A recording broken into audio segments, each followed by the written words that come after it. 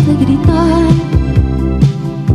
esconde el llanto con la pared, después desaparecen y vuelve a repetir.